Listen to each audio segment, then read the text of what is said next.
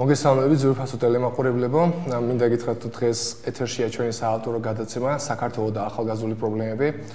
მინდა გითხრათ თუ საკმაოდ საინტერესო გადაცემა გველის წინ. ყავს ძალიან საინტერესო სტუმარი.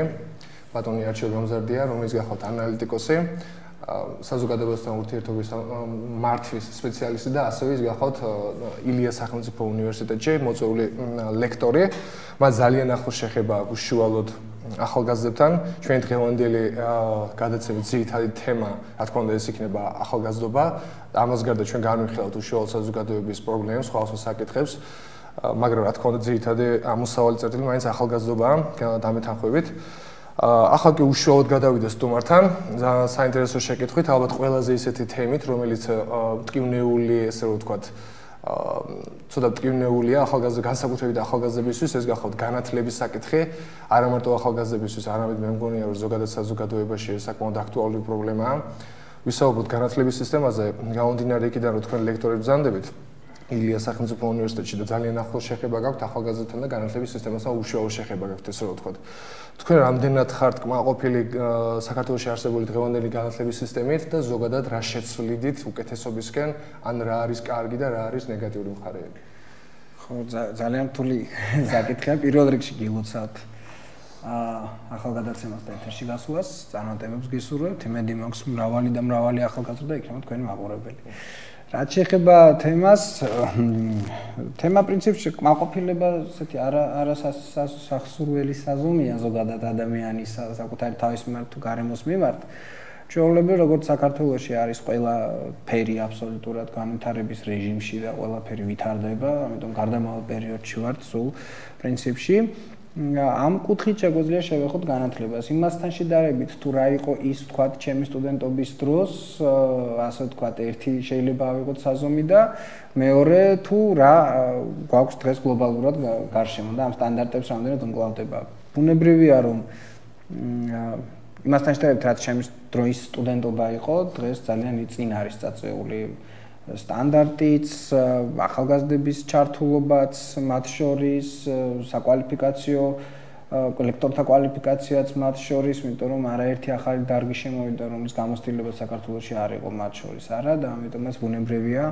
ეს ყველაფერი უფრო წინ წაიწია ქვეყანაში და ამიტომაც საქართველოს პირველი სკოლისა ყველაზე თავარია შეგვერთდა განათლების საერთაშორისო სისტემას და აი თქვენ წარმოგიდგენთ რომ სტუდენტი ვიყავი უმაღლესი დიპლომი და 11 კლასის განათლება ევროპაში ეთვლებოდა უბრალოდ საშუალო განათლებას.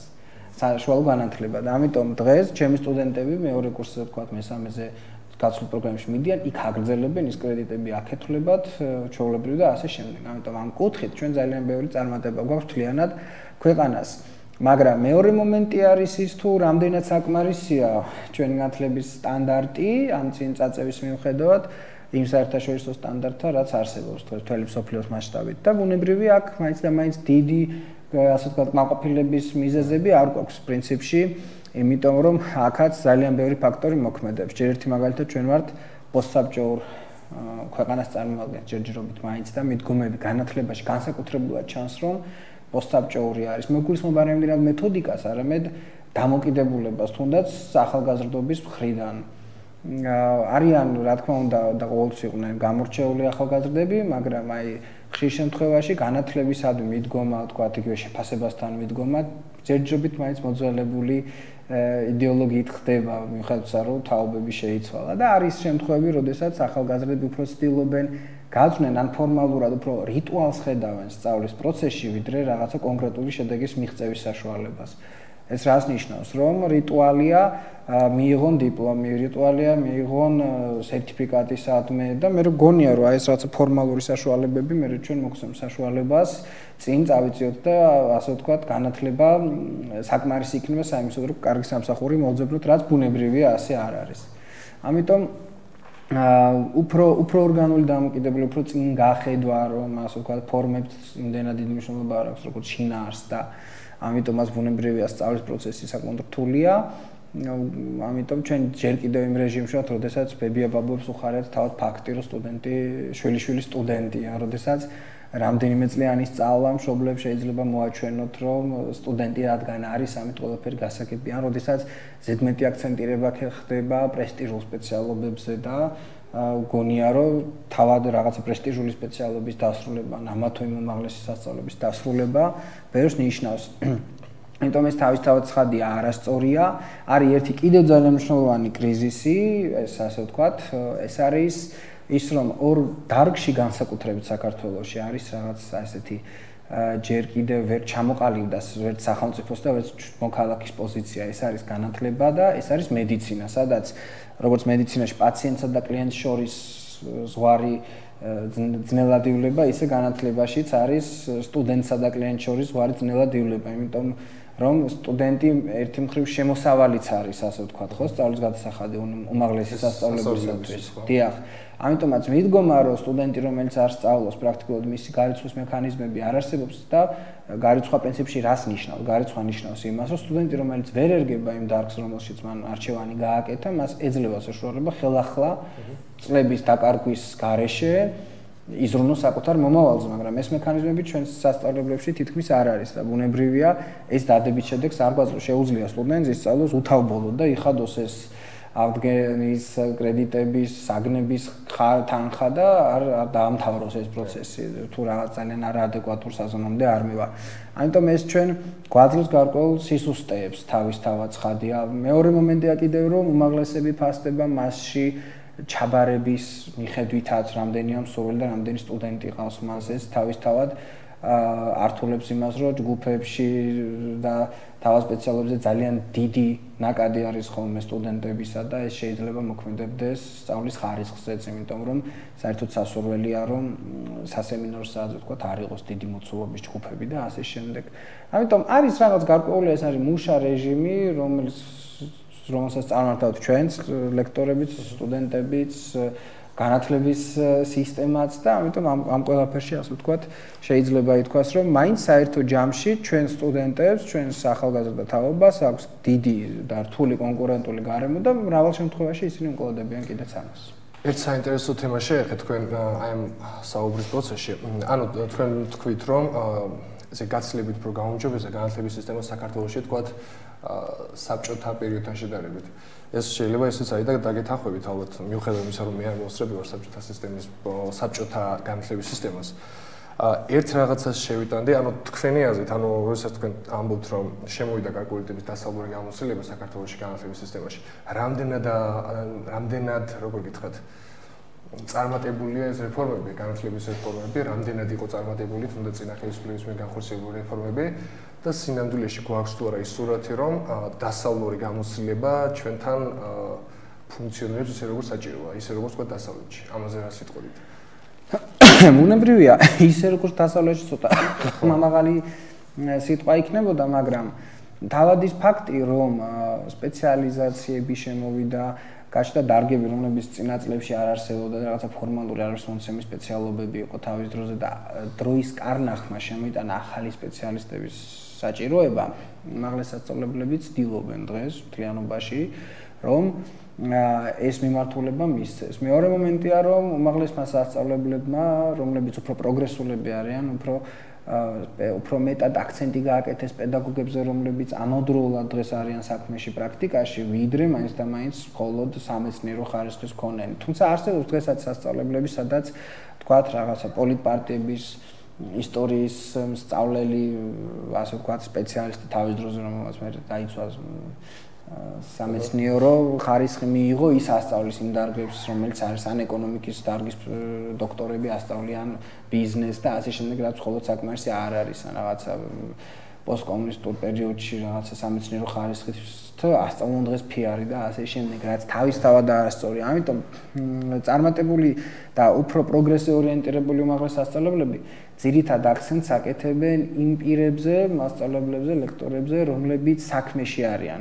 იმისათვის რომ თანამედროვე ანუ ყველა უნივერსიტეტი ესე თუ ძირითად თქვენ ხო არ ხო ვერ გამოყოფთ კერძო და სახელმწიფო უნივერსიტეტებს? კერძოში უფრო ხო არ შეიმჩნევა ის ტენდენციები, რადგან თქვენ ახლა კერძოშიც არის ეს და პრინციპი სახელმწიფო სასწავლებლებშიც თუნდაც იმ სასწავლებლებში, რომელშიც მე თანამშრომლობ უკვე 8 წელიწადია. ამიტომ ბუნებრივია ეს უფრო მეტად არის პროგრესზე მიმართული, იმიტომ რომ აი მარტო თქვა სტუდენტზე სასწავლო შედეგი რაც არის გათვლილი, გათვლილი არა მხოლოდ მოცულობითი ცოდნის მიღებაზე, არამედ კონკრეტული პროფესიული უნარჩვევების მიღებაზე, რაც თავისთავად უფრო მნიშვნელოვანია, ხო ბუნებრივია გააჩნია დარგებსაც, მაგრამ იმ დარგებს, რომელსაც დღეს უფრო პრაქტიკული სახე აქვს. ამიტომაც აი ეს მიდგომები თავისთავად ნიშნავს იმას, რომ ეს მოიტანა ამ ბოლო წლების გამოცდილებამ საქართველოში იმ ურთიერთობებმა საზღვარგარეთ. ჩემი სტუდენტი არაერთი, რომელიც მედი საზღვარგარეთ სასწავლებლად, კიდეც აცხადებს, რომ ხშირ შემთხვევაში დიდი განსხვავება არც არის სასწავლო პროცესებში საზღვარგარეთ და წარმატებულ უნივერსიტეტებში, უფრო წამყვან უნივერსიტეტებში და ჩვენთანაც. მიხედავთ ისე რომ ჩვენ არც შევდივართ საქართველოს არც ერთი უმაღლესწავლებელი არ შედის ყველაზე მოწინავე სოფლიო მასშტაბით ასე ვთქვათ უმაღლეს სასწავლებლებში, მაგრამ ეს იმას ნიშნავს, რომ თავისთავად ამისკენ მიმართულება აღებულია და ამისკენ მივდივართ. ბუნებრივია ეს ყველაფერი მოწყობს თითოეულ სექტორში დახვეწას და თითოეულ სექტორში განვითარებასაც. აი ერთ-ერთი ალბათ ყველა სტუდენტს აინტერესებს ძირითადი საკითხი საქართველოსში, განსაკუთრებით საქართველოსში ალბათ. ქართული განათლების სისტემა მიუხედავად იმისა, რომ მართლა ძალიან ბევრი თუნდაც პროგრესი შეიმჩნევა, ერთი აი უარყოფით მხარის აღნიშნავდი, ალბათ ჩვენი განათლების სისტემა. ყოველ შემთხვევაში მე ესეთი გამოცდილება მაქვს, ძირითადად ორიენტირებულია დაზუსტვაზე. ანუ ანალიტიკური აზროვნება ცოტა ნაკლებად არის ხომ თქვა, რომ თუნდაც ევროპაში ეს გაცილებით უფრო წინ წამოწეული თემა, ანუ ინფორმაციის ფლობა ნიშნავს, რომ შემიცი ესა თუ ის საქმე ან პროფესია ასასწავლო. ალბათ ეს ანალიტიკური აზროვნების საკითხი რამდენად უფრო პრობლემულია საქართველოში. ბუნებრივია, მხოლოდ ანალიტიკა არ შეიძლება იგივე თუნდაც სხვა მიმართულებებიც არ არის, სხვა განვითარების მაღალ დონეზე, როგორც თქვით ეს დახვეწის რეჟიმშია. ანალიტიკა ჩვენთან აი, როდესაც ლაპარაკობენ, ეს რას ნიშნავს? მაგალითად, ვერ დადგები ეფექტური მარკეტოლოგია, PR სპეციალისტი თუ შენ არ აწარმოებ დარგობრივ მონიტორინგს, არ ახდენ მის ანალიზს, მის შეფასებას, ნებისმიერი პროცესი, როგორც წესი, ეტაპებს შორის განასხვავებს რა ანალიზით მიღებული შედეგი და ახალი შედეგების საკენ სტრაფვა არა ბუნებრივი ამიტომაც შეუძლებელია ის იმ დარგში სადაც ანალიზზე არ არის ლაბორატორი და ანალიტიკურ გონებაზე არ არის საუბარი უფრო მეტიც თანამედროვე განათლებაში რამდენიმე ძირითადი კომპონენტია. პირველი ეს არის შემოქმედებითობა ადამიანის ახალგაზრდის, ამიტომაც კრეატივს, რასაც ჩვენ ვეძახნა, შემოქმედებითობას იკავებს განსაკუთრებულ როლს, რატომ? იმიტომ რომ თელი რიგი დარგები, რომლებიც ასე ვთქვათ, სტანდარტიზებულია, მათი მიხვედრა აი კონკურენციაში არა, ადვილია შენ დღეს თუ კი ფიქრობ ხოლმე როგორც დარგობრივი სპეციალისტი, ადვილი გამოსაცნობი შეიძლება გახდეს, როგორ აზროვნებს ესა თუ ის შენი კონკურენტი და მისი რისკენ მიისწრაფვის, მაგრამ ანა შემოქმედებითი უნარი თავისთავად ასე მარტივად ლოგიკას არ ეკონდებარება და რაღაცა ბევრად უფრო შინაგანი ლოგიკაა, ვიდრე გარე ლოგიკა, ასე ვთქვათ. მეორე ეს არის თავისთავად ის ანალიტიკური ანალიტიკური აზროვნება, რომელიც ამ ყველაფერს ფორმას აძლევს და მეორე უკვე არის ასე ვთქვათ, ასევე კომპეტენცია. ამიტომ ეს თავისთავად არის ის თავარი მოთხოვნები, რომელიც თანამედროვე სპეციალისტს უნდა კონდეს და შესაბამისად ის რაც თანამედროვე სპეციალისტს უნდა კონდეს უნივერსიტეტის მიზანი არის. აი ჩვენთან სისუსტეებს ქმნის რა შედარებით მოძველებული ასე ვთქვათ, მიდგომები, სადაც არსებობს ზოგიერთ სასწავლებელში და მათ შორის უმაღლეს სასწავლებელშიც არა, ისინი ცდილობენ, რომ აი რაღაცა წლების განმავლობაში ის რაღაცა მეცნიერების ქელი წიგნით უნდა ასწავლონ და რაღაცა თეორიები, რომელიც შეიძლება იმ წუთისათვის არ იყოს ყველაზე აუცილებელი პირობა, აი თქვენ რაც დაზუთხვაზე ბძანეთ არა, მაგრამ ბუნებრივია, ინფორმაციის ფლობა არის თავარწყაო კომპეტენცია. ჩვენ უნდა შევეჩიოთ არსებობს ესე თქვა ახალგაზრდებს ჩემს სტუდენტებს ჩემს მომავალ კოლეგებს უყვართ ასეთი დებატები ხოლმე ჩემთან, რომ აი თავარია პრაქტიკა და ანუ ვიღაცას რომ თავარია სწავლა და საერთო ჯამში სულ ვეუბნები მე სტუდენტებს რომ ერთ-ერთი მათგანი არის დიდი ფუფუნება, ანუ ორივე მათგანი აუცილებელია და მათ შორის მნიშვნელოვნად. რატო? იმიტომ რომ არ არსებობს კვალიფიციური სპეციალისტი, რომელსაც ცოდნა არ აქვს. რაც გინდა დახელოვნდეს შენ შენით.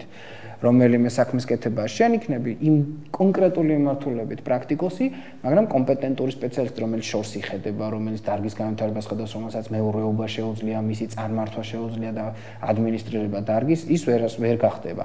მეორე მხრივ მხოლოდ თეორეტიკოსი, რომელიც ასე ვთქვათ, ჭიქაყავაზე შეუძლია დაждდეს და ისაუბროს ბევრი და შევიდეს ორგანიზაციაში თიც ვერ გაანძრევს, ასე ვთქვათ. მასუს ერთი ასეთ შემთხვევა, ჩემ ბავშვობაში 90-იანებში მოზარდობაში დენი როხშირად მიდიოდა, ერთი მეზობელი მყავდა მძღოლი, მეორე მყავდა ფიზიკოსი. გამოვიდა და შუქი რამდენჯერაც გადაიწვევდა ფიზიკოსი, დაიწვევდა აი რაღაცა ესენი მოძრაობენ, აი ეს მოხდა, ახსნი და ყველაფერს გამოვიდა და მეორე მეზობელი ის უბრალოდ გააკეთებდა ამას, დენს და შევიდოდით უკან. ანუ ასე ვთქვა, ეს ნიშნავს იმას, რომ თავისთავად მხოლოდ პრაქტიკოსობაზე, მხოლოდ თეორეტიკოსობაზე აქცენტირება არასწორია, უფრო მეტის დღეს მრავალი დარგი მოიცავს ორივეს ერთობლივად, თანამედროვე დარგები რაც კი შეიქმნა თანამედროვე საზოგადოებისათვის, ის აუცილებელ მოთხოვნა თulis, ასე ვთქვათ, კომპეტენტური პრაქტიკოსის არსებობას, რაც ნიშნავს იმას, რომ შენ უნდა იყო მწოდნე, ანუ უნდა იცოდე ის დარგი და კომპეტენცია ამით იქნება და მნიშვნელოვანი ძელი კომპეტენციის აქედან იქნება და მეორე მხრივ უნდა იყო პრაქტიკოსი, იმიტომ რომ უნდა აკეთებდე. თუ შენ არ აკეთებ, ცოდნა თუმცა ანუ საერთოდ ესეთი მომენტი აი ცოდნა რომელსაც ჩვენ კეთებამდე ვერ დაგვყავს არის მხოლოდ ინფორმაცია და მახსოვრობა. ის ცოდნა არ არის. ცოდნა არის ის ინფორმაცია რომელსაც ჩვენ კეთებაში ვიყენებთ ასე ვთქვათ. ძალიან საინტერესო იყო თქვენი ხედვა განათლების სისტემას უნდა გვიშევებით ახლა გადავიდეთ მეორე საკითხზე რომელიც არანაკლებ მნიშვნელოვანია. თქვენ მე როგორც ვიცი და ასევე ძალიან კარგად იცით საზოგადოებამას თქვენ ზანდებით საზოგადოებასთან ურთიერთობის მართვის სპეციალისტი ანუ თქვენი სპეციალობიდან გამომდინარე, მინდა ესე შეკითხვით გადმოვიდე თქვენთან. თქვენ როგორ ფიქრობთ, რამდენად იოლია ქართული ახალგაზრდობის და არა მარტო ახალგაზრდობის, არამედ მთლიან საზოგადოების манипулირება? ანუ შესაძლებელია თუ არა ჩვენაერი საზოგადოების манипулირება პიარის მეთოდებით იქნეს გამოყენებული ნეგატიურად, ანუ ბორდარის. პირველი პიარის მეთოდების ნეგატიურად გამოყენება ვერ მოხერხდება, თუ კი ის ამ დარგობრივ ფარგლებში ჩდება და რატომ? იმიტომ რომ აა VR-ი როგორც საზოგადოებასთან ურთიერთობის მართვის მართვა, ასე ვთქვათ, გულისხმობს აა საზოგადოებრივი ჰარმონიის შექმნას. მაგალითად ეს რა გულისხმობს? თუ კი თქვენ შეიძენთ ავტომობილს, ვთქვათ, Mercedes, რომელიც საკუთარ თავის რეკლამირებას, პრეზენტირებას ახდენს, ის ამბობს, რომ ერთ-ერთი საუკეთესოა, არა, თქვენ არ დარჩებით მოტყუებული, ანუ ისიც გაიყიდება, მანქანაც ავტომობილიც განვითარდება და მისი წარმოებაც და თქვენც მოყოფილ დარჩებით. ეს Mercedes შემთხვევაში, ხო. ამიტომ თავისთავად იდეა არის ეს განვითარება საზოგადოებრივი პროცესების დროს ნებისმიერ დარგში. აა ჩვეულებრივი ბიზნესი იქნება ნიშნავს ბიზნესში პროდუქტის წარმოებლის და მიმღების ჰარმონიის დაცვას. პოლიტიკური პროცესი ნიშნავს იგივე ფორმულა მოქმედებს, ანუ მიიღო სასურველი კანდიდატი, სასურველ კანდიდატს დაეხმარო წინსვლაში და შენს და ის დარგიც რომელშიც ის არის ორიენტირებული, განვითარდეს ასე ვთქვათ. ნებისმიერ სხვა შემთხვევაში ჩვენ უკვე ვწდებით PR-ის ფარგლებს, დარგობრივ ფარგლებს და უკვე სხვა ფარგლებში გადავდივართ, ხო? ინსტრუმენტის გამოყენება შეიძლება მრავალნაირად, ხო? დანით შეიძლება პურიც გაჭრათ და ადამიანის დაჭრათ, არა? ატომური ენერგიით შეიძლება სოფლიოსთვის საშიშროებას შექმნათ და დენის წყაროც მიიღოთ. ამიტომ თავისთავად ინსტრუმენტის არსებობა დამოკიდებულია ხშირად მის ფლობელზე. ბუნებრივია საზოგადოებაზე ზეგავლენა შეიძლება, აბა რა დავაკვირდეთ ჩვენ, რატომ ხდება რომ ევროპის ქვეყნებში საზოგადოების ზეგავლენის ხარისხი შედარებით ნაკლები არის, იმიტომ რომ ისინი ინფორმირებულები არიან. ანუ თითოეული მოქალაქე, ანუ მრავლობით მრავალი მოქალაქე, ასე დავარქვათ, არის უფრო მეტად კვალიფიციური და ამიტომ მას მისი გაბრუება ასეთულად არ შეიძლება. აბა დავაკვირდეთ ხა პოსტსაბჭოთა ქვეყნების ძირთად ნაწილს, მათ შორის რუსეთს, რომელშიც ასე თქვა ნეოსაბჭოური პროპაგანდა უმაღლეს დონეზე არა.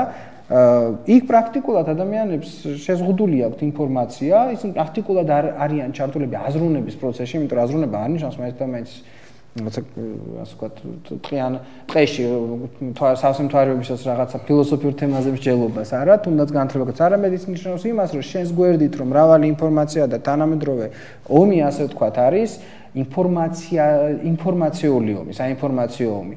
ეს ნიშნავს იმას, რომ შენ ადვილად არ უნდა დაემორჩილო. როდი შეიძლება თქვენი თქვენი თავდაცვის უნარი, როდის არის მაღალი, როდესაც ერკვევით იმაში, არა, რასაც თქვენზე ვავლენ. ახლა მე მაგათ თქვენ დარგზე რომ თქვენ დარგში სადაც თქვენ სოდნა მაღალი გაქვთ. მომენტომო თქვენი გასულელება ასე დავარქვათ. მე ძალიან გამიჭirdება, იმიტომ რომ თქვენი კომპეტენტური ხართ და იცით რა არის მართალი და რა არა. ამიტომაც ყოველთვის საზოგადოებით манипулირება შეიძლება იქ, სადაც საზოგადოება ჯერ ვერ შემდგარია ან საზოგადოების წევრები ნაკლები ცნობიერებით და ნაკლები ცოდნით გამოირჩევა. აი თქვენ საერთ საინტერესო საკითხში ეხეთ. ესე იგი საზოგადოებას დაუთითოეს მართვის საკითხებში. აა პოსტსაბჭოთა ქვეყნების გამოცდილება. ანუ თქვენ ხო არ მიგაჩნიათ, რომ აი ეს პოსტსაბჭოთა ქვეყნებში არსებული მეთოდები, აი ეს ER-ის მეთოდები, გარკვეულწილად გვაგონებს ძველ საბჭოთა პროპაგანდას ან ძალიან კატეგორიზება რო არ მოახდინოთ, გავს რაღაცით. თქვენ როგორ ფიქრობთ ამას ვერაფერი? უფრო მეტიც თანამედროვე საზოგადოებრივი ურთიერთობების ხშირი კონცეფცია აგებულია სწორედ საბჭოურ მეორე მსოფლიო ომის დროინდელ და ასე შემდეგ პროპაგანდისტულ ფორმულებზე. ჩვენ პროპაგანდისტიკა არის ძალიან საინტერესო დარგი, მე პირადად ალბათ ერთ-ერთი შვიათი ვინც ამას სამეცნიერო დონეზე ვიგლებ საქართველოში. და სწორედაც ანუ პროპაგანდა ჩვენ მეცემს გონია რომ რაღაცის მარტო ვერბალური საშუალება და მთელი მეთოდური საშუალებები არსებობს იმეთ ფეიკინგში გადაწყვეტილი, ანუ ღონისძიებების მართვაში გადაწყვეტილი. ამიტომ პოსტსაბჭოური ასე ვთქვათ პროპაგანდა რას გულისხმობს? პროპაგანდა, რომლის დროსაც მხოლოდ აი მეცაღან დავასახელე, რომ ესე ვთქვათ, მხარეები, სადაც საზოგადოებრივი ურთიერთობების წარმოება მიდის, უნდა იყვნენ თანაბრად დაცული იყოს მათი ინტერესი და კმაყოფილება. ეს არის PR-ის პრინციპი, ხო? პროპაგანდაში პირიქით არის ერთ-ერთი მხარის და გავლენიანი მხარის ინტერესი და მორგებული დანარჩენი ორი. ამიტომაც ბუნებრივია, თქვა წინა ხელისუფლების დროს მე ხშირად ვამბობდი რომ საქმე გვაქვს ჩვენ პროპაგანდასთან უფრო მეტად ვიდრე საზოგადოებრივ ასე ვთქვათ PR-ის კლასიკურ სტანდარტთან ასე ვთქვათ. იმიტომ რომ იქ იყო მხარე დაინტერესებული რომელიც ცდილობდა ხელოვნურად საზოგადოებრივი აზრის ფორმირება მოეხდინა და გარკვეული ხერხები და მეთოდებით ამის შესაძლებლობები მაღალი ქონდათ. დღეს ეს პირიქით არის. დღეს ასე ვთქვათ, პროპაგანდა ნაკლებად მიმდინარეობს, ამით, მაგრამ საზოგადოებას ინფორმაცია აკლია და არის ის რომელი ინფორმაცია ორიენტირირაზე მოახდინოს, რითი ისარგებლოს, ასე ვთქვათ, ჭიქა ნახევრად სარიელია, თი იმსჯელოს თუ ნახევრად სავსეა თი იმსჯელოს და ასე შემდეგ. ამიტომ პოსტსაბჭოურ ქვეყნებში აი დააკვირდით ახლა ნახეთ ბოლო პერიოდში რუსეთის პრეზიდენტის რეიტინგი გაიზარდა არანორმალურად, ხო? ეს ეს რას ნიშნავს, რომ საზოგადოება იქ არაზრონებს, ანუ იქ პროპაგანდა არა. ეს პროპაგანდა ნიშნავს იმას, რომ აჩვენოს საზოგადოებას ყველაფერი, რაც კონკრეტულ პოლიტიკურ ლიდერის ინტერესებზე არის მორგებული. თან ეს პროპაგანდა გარკვეულწილად კონფორმიზმის მდგომარეობაში სამყაროს საზოგადოებას. ანუ გარკვეულწილად მძიდველიც არის, ანუ შენ არ გიწევს ფიქრი ტვინი ჭლეტა ისე ვთქვათ, სხვადასხვა საკითხებზე პირდაპირ გამზადებული პროდუქცია მოდის შენთან და შეუბრალოდ გევალება ის რომ ეს გაიაზრო და გაითავისო. ანუ ეს კონფორმიზმის მდგომარეობაში არის საზოგადოება და კონფორმიზმის კიდე კლავ შემოქმედებით, თუმცა საბოლოო ჯამში ვიღებთ იმას, რომ საზოგადოება ვერ ვითარდება. ბუნებრივია, არსებობს შემთხვევები, როდესაც ადამიანს მონობა ურჩევნია, ვიდრე თავისუფლება. გახსოვთ ალბათ, ხო ცნობილი გავი, როდესაც უთხრეს, რომ წადი თავისუფალი ხარ, რომ შეწუხდა მონამე, საწავიდეო, ანუ მეტი მეტი არიცის. თავისუფლება თავისთავად უპირველეს ყოვლისა გულისხმობს ადამიანის პასუხისმგებლობა საკუთარ მომავალთან მიმართებაში. მაგრამ შეიძლება მონობის რეჟიმში ეს არ არის, იმიტომ რომ ის თვითონ არ განაგებს საკუთარ თავს. ეს იქნება ერთი ადამიანი, ეს იქნება საზოგადოება, ეს იქნება მთლიანად სახელმწიფო თუ ასე შემდეგ. ამიტომ ბუნებრივია ეს ასე ვთქვათ, შემხედრობა რაღაცა სადმირისკენაც გიბიძგებენ და მის აი ამითი კმაყოფილება მიიღება მონურ საზოგადოებაში. ან ამ შეიძლება ეს სიტუაცია ზოგისთვის უხეშად ჟღერდეს, მაგრამ ასე ვთქვათ, ზედმეტად არამოაზროვნე დონეზე მხარდამჭერ საზოგადოებაში, რომლებშიც რასაც შესთავაზებს, ვთქვათ, ლიდერი ის მიღებულია აი ზოგი ემიტომაცავს აი რაღაც მომენტში რაღაც აი მეფების მეფების მართლობა რითი იყო გამორჩეული შე შემთხვევაში? იმით რომ ის მისი სიტყვა უტყუარად იყო აღიარებული მისი აზრი განსჯას არ ექვემდებარებოდა რა და მე მით უმეტეს აკვე რაღაცა სხვა მისტიური შეხედულებებიც არსებობდა რომ ეს ასე ვთქვათ ღმერთკაცი უნდა ყოფილიყო მეფე და ამის გამო ასეთი მეფეები რომელიც ღმერთის მიერ იყო წარმოდგენილი და ღმერთის ძალით ასე ვთქვათ, იყო დაჯილდოებული, რიგითი ადამიანის შეფასებას არ ექვემდებარებოდა და ამიტომ რასაც გააკეთებდა ის აღიქმებოდა როგორც ღვთის ნაბიჯი და ამიტომაც ადამიანს ის არ უნდა შეეფასებინა. ეს თავისთავად გულისხმობს, რომ არათავისუფალი ასე ვთქვათ, საზოგადოების ინტერესებზე იყო უფრო მორგებული. გასაგებია, ანუ თქვენი საუბიდან გამოდიან, თქვენ ანუ ახალგაზრდებმა როგორ უნდა იცილონ თქვათ თავიდან მანიპულირება, ანუ პროპაგანდა. ან რო არ მოიქცე მანიპულირების ქვეშ ამ შემთხვევაში მთავარი არის ალბათ განათლება ხო როგორც თქვენ საუბრიდან გამომდინარე ფორმულა მარტივია მთავარი განათლება ხო მთელი სირთულეც ამაშია რომ განათლება. რა თქმა უნდა. ახალგაზრდებში ეს კიდე უფრო როგორ გითხრათ ეს რისკი კონფორმიზმისა ნაკლებია იმიტომ რომ ახალგაზრდობა თავისთავად კონფორმიზმის წინააღმდეგ არის მართული ასაკი. ქართულ რეალობაში როგორ ითვლება არის ნონკონფორმისტი ქართული ქართული ახალგაზრდა. ხა ჩვენი ახალგაზრდა ესე ტიპურად ვერ დახასიათდება, ხო გვაქვს ასეთ შემთხვევა, ასეთ სხვადასხვა ტიპის შემთხვევა. აი შემთხვევები, როდესაც ჩვენ ვხედავთ ახალგაზრდის შეგუებას, ეს სხვა შეიძლება ყველაზე მიუღებელი რამე არის, იმიტომ რომ რეალურად ჩვენ თუ დავაკვირდებით საქართველოსი ნებისმიერ ეტაპზე, საქართველოს განვითარებას, წინ უძღოდა არაკვალიფიციურ სპეციალისტთა არა გამოცდილ ადამიანთა აქტივობა იმდენად რა თქმა უნდა მათიც. არამედ ახალგაზრდული მოძრაობები და ახალგაზრდული ძალა. აი ეს ქმნიდა წინაპირობას და მე რასაც ისინი ვალდებულებას კიდევდნენ იმათვისაც ამის გადაწყვეტილება შეეძლოთ შემდგომ ამ ყველაფრით უკვე სახელმწიფო შეიძლება გამთარებულიყო მაგრამ დღეს ერთი მომენტი რაც ჩვენს თაობას ასე ვთქვათ ჩვენ ახალგაზრდა თაობას შეიძლება კონდეს ზუსტად როგორც წინაპირობა რომ კონფორმიზმის კენ კონდეთ მიდრეკილება და კიდეც შეგუება ვახტინონ ეს არის ასე ვთქვათ ის ბევრი პრობლემა რომელიც სოციალურ ყოფით დონეზე არსებობს. ამიტომ ახალგაზრდა ხშირად სულაც გუგრილია რაღაც ვთქვათ პოლიტიკურ აქტიობებზე. მაგრამ ის პოლიტიკურ აქტიობებზე შედის იმიტომ რომ მას შეიძლება ძალიან ცუდი გამოცდილებას ხედავენ ჩვენი ახალგაზრდები რომ ზოგიერთ შემთხვევაში ადამიანი რომელიც თავისთავად არის კვალიფიციური არც არაფერს წარმოადგენს დროშის ტრიალის შემდეგ შეიძლება აღმოჩნდეს კარიერის შუა ან მაღალ ასე ვთქვათ, მწვიმაზე, რა ქვია, ეტაპზე. ამიტომ ის თავისთავად ცუდი გამოცდილება და ცუდი რამისკენ უბიძგებს ახალგაზრდას. როდესაც ხედავს ის, რომ საქართველოში წლების განმავლობაში დაუსრულებელია ნეპოტიზმის საკითხი და ჯერ კიდევ ვერ გადავიდა არა ოფიციალური რეკომენდაცია ნეპოტიზმის პრინციპია მე რო ვთქვა თქვენზე რომ აი ეს კაი ბიჭია და მიიღეთ ხო და ეს ვერ გადავიდო ფორმალურ, ასე ვთქვათ, ოფიციალურ რეკომენდირების სისტემაში, რითიც მთელი მსოფლიო არსებობს, თორემ ფუძე ორივეს ერთი აქვს, თუმცა სხვადასხვანაირად ვითარდება. და ასე შემდეგ, ამიტომ ზოგიერთ შემთხვევაში ახალგაზრდა რაღაცნაირად ფარხმალს ყრის, იმიტომ არის რთული და მიუღებელი, რომ ახალგაზრდებს, ასე ვთქვათ, იმედგაცრუების კენ მოუწოდო და იმედგაცრუების შედეგი ახალგაზრდებს მხოლოდ იმედგაცრუების შედეგი შეიძლება იყოს კონფორმიზმი. ანუ, როდესაც ის ხვდება, რომ რაღაცა მისი არის. სოციალური თემატიკამდე მივიდივართ ეტაპზე, საბოლოო ჩემში. აა სოციალური იმდენად რამდენადაც დღეს თანამედროვე თაობა ბევრ ამის პრაგმატული თვალსაზრისით უყურებს და უფრო და უფრო მცირდება იმ ადამიანთა რაოდენობა, რომლებსაც აქვთ უნარიც და სურვილიც ძალიან ზემოდან გადახედონ პროცესებს და ძალიან სიღრმისეულად და იქიდან დაინახონ დღევანდელი დღე. ალბათ ეს ყველა ჩვენგანს უკვე ძალიან გვიჭირს. ალბათ ერთ-ერთ ყველაზე მნიშვნელოვან პრობლემას აღვნიშნოთ. ახალგაზრდებში ძალიან მაღალია რიცხვი უმუშევრობის ალბათ ამეთანხმებით და ეს არის ალბათ იმის თავარი მიზეზი, რომ თუნდაც დაჩინა უშევი ასე ასე ვთქვა ქართულ ახალგაზრდას როგორც თქვენ ყველა ისაუბრეთ კიდე საკეთენ გამოდინარეობს თქვენი აზრით არსებობს თუ არა ესეთი ფორმულა? ფორმულაბად არ არსებობს არაფრის ზოგადად მაგრამ რა არის ის ძირითადი მექანიზმი რამაც შეიძლება აღმოფრას ახალგაზრდებში ეს უმუშევრობის მაღალი მაჩვენებელი? ანუ რამ შეიძლება ეს? აა მე რომ გითხოთ ახალგაზრდები დღეს ბევრად უფრო დაცაქმებულები არიან ვიდრე თუნდაც ჩემს თაობაში იყო ეს. მაგალითად კურსზე მე და რამდენიმე ადამიანი მუშაობდით როდესაც მე სტუდენტი ვიყავი. ანუ მე მართალითაც ზოგჯერ ვიყენებდი კიდეც ამას ასე ვთქვათ სტუდენტური კუთხით რომ მე მუშაობდი. ანუ ეს იყო ფაქტი რაღაცა განსაკუთრებული და ლექტორები ჩემი რო იგებდნენ რომ მე მუშაობდი და გავაცდინე იმიტომ რომ სამსახურში ვიყავ მათთვის იყო გამორჩეული რაღაცა. ხა ჩემი სტუდენტების 2/3 დღეს საკმაოდ აქტიური ახალგაზრდა, ბევრი მუშაობს, ძალიან მნიშვნელოვან და საინტერესო დარგებში არიან. მე რომ მკითხოთ ზოგიერთ შემთხვევაში სამუშაოს რა არის ამის აღქმა ჩვენ უფრო გვიჭირს. ჩვენ რო გავიდეთ ახლა და ჩავატაროთ გამოკლება, იმედად რომ გავიდეთ ქუჩაში და ვკითხოთ რამდენი მათგანი თulis თავს დასაქმებულად.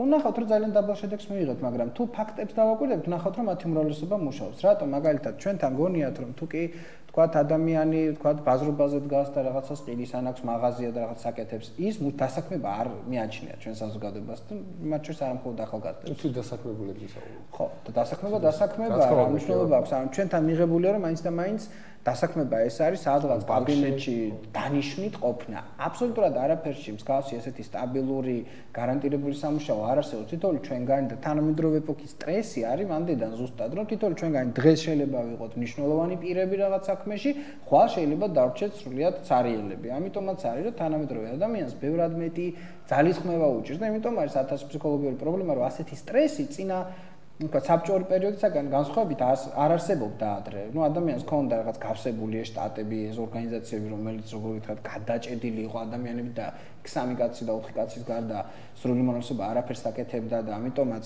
იდეაც კი საბჭოთა კავშირისა უტოპიური იყო, იმიტომ რომ შეჭამდნენ იმ შესაძლებლობებს და დარჩებოდა ამეთი და პრინციპში ასეც მოხდა საერთო ჯამში. და ჩვენ შემთხვევაში კონკურენცია დიდია. მეორე მომენტი არის ის, რომ დღეს არც უნდა კონდეს თელ სოფლიოს ერთ-ერთი სისუსტე და ერთ-ერთი მათ შორის ბატო საქართველოსი არ არის უმუშევრობის საკითხი.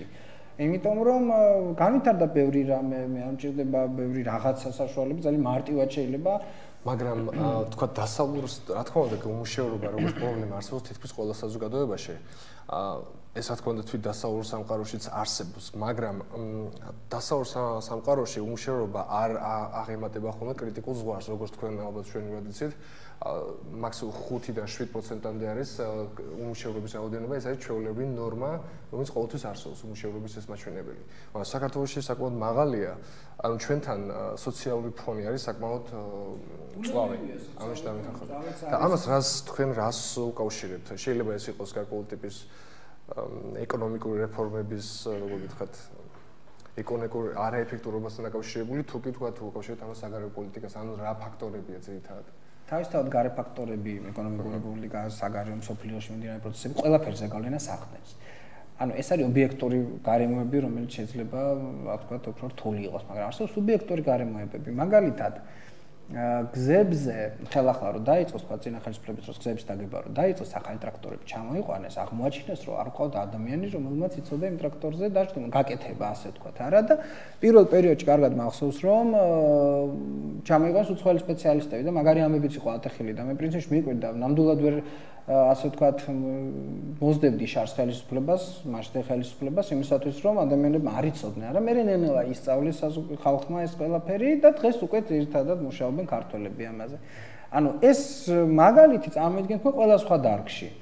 მეორე მომენტია კვალიფიკაციის არ ქონით სამსახური არ მიიღწევა. ჩვენ წეგან როდესაც დავიწყეთ საუბარი, სწორედ იმას ლაპარაკობდით, რომ გონია ჩვენ რომ თავარი უმაღლეს დაამთავრო ორი სერტიფიკატი დაადო CV-ში ჩაწერო და აი სამსახური განსაზღვრულია. ეს შეუძლებელია თუ არა? რიტუალ დონინდია დაყვანილი. ხო, კვალიფიკაცია თუ არა გაქვს, თუ შენ არ იცი ახლა რა რა კვალიფიკაცია უნდა კონდეს თქვა სტუდენტ შეიძლება თქვა აი ჩემმა ახალგაზრდა მეგობარმა მითხრას ასეთი რამე. ახალგაზრდა სტუდენტს, ასე სტუდენტს ახალგაზრდა, როგორც ახალგაზრდა დამწყე სპეციალისტს, უნდა კონდეს ცოდნა პირველი, უნდა კონდეს ანალიტიკური შემოქმედებითი და ენერგია, ის უნარი და ენერგია, საიმისოდ რომ მან რაღაცა საქმეში ჩართულობა დაიწყოს. მაგრამ ჩვენ ხშირად უფრო ხედავთ, რომ ენერგიის ასე ვთქვათ, დეფიციტს არ უჩევით, ვთქვათ, მაგრამ ცოდნა, დაკვირვება, ანალიზი, კომპეტენცია საქმეში, თუნდაც ასე ვთქვათ, რეპეტიციის დონეზე. არა სწავლა არის რა რეპეტიციის პროცესი სანამ გახვალ პრემიერაზე არა და სანამ სპექტაკლებს აჩვენებ მაყურებელს. სწავლის პროცესი ეს არის რაც შენ თვის მიმდინარეობს და შენ არ აჩვენებ იმას შავ ასე ვთქვათ მუშა პროცესს. ამიტომ ბუნებრივია ძირითადად პრობლემები გვაქვს იმიტომ რომ არ ყავს სპეციალისტები. ძალიან ბევრი ორგანიზაცია დღეს ჩივის ამათო სპეციალისტის არსებობას ძალიან ბევრი ჩივის იმას რომ აკლია სპეციალისტები და თქვენ წარმოიდგინეთ, აი ხო მაგალითად ცნობილია რომ საქართველოსში უცხოენა ყველა მიცის, მაგრამ ნახეთ თქვენ სპეციალისტ და ორგანიზაციები, რომლებმაც გასაუბრებები ჩაატარეს და საშუალო დონის სპეციალისტიც კი თითქმის ვერ იპოვეს. ანუ თქვენ ამბობთ რომ ხშირ შემთხვევაში საქართველოს არსებობს მოსაზრება იმისა რომ საქართველოს არის ნაკლებობა ამ ტექნიკურ სფეროში განათლებული ადამიანების ანუ თქვენ ამბობთ რომ არა მარტო ტექნიკური არამედ ჰუმანიტარული და სოციალური მიმართულებითაც არსებობს ამის პრობლემა ხო? კი ბატონო. საერთოსენია და არა მხოლოდ ერთი დარგის და პლუს რა თქმა უნდა ის რომ ჩვენ ქვეყანა ვერ ვითარდება და მეორეც აქ როგორია ისეთ კვერცხი და ქათმის პრინციპია სწავლა და ხელისუფლება.